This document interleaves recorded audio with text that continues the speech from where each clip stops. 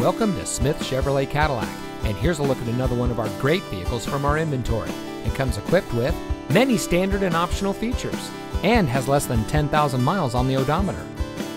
For over 90 years, Smith Chevrolet has been family owned and operated, proudly serving the Central Valley.